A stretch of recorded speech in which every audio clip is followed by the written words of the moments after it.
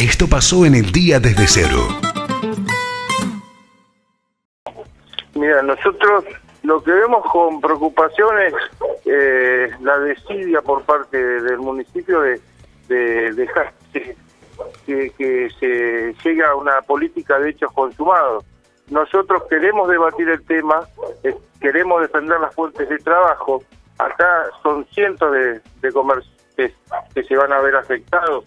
Eh, si, si, no se toma alguna medida, nosotros no, no no rehuimos al debate, queremos debatir el tema, pero también queremos tener la seguridad de que vamos a debatir el tema en un marco estable, porque si nosotros debatimos el tema y el tema este, se alarga, el debate se alarga y, no se llega a ninguna conclusión o no se llegan a, conclusiones favor, eh, de, ningún tipo, eh, mientras tanto se siguen se siguen construyendo eh, los supermercados estos, se siguen habilitando y para cuando lleguemos a, tener algún tipo de conclusión vamos a tener minado este tipo de emprendimientos Gualeguaychú.